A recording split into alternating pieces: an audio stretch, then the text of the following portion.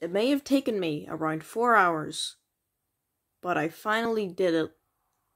Was it worth it? No. Have I lost about 20 years off my life? Probably. But I got a trophy.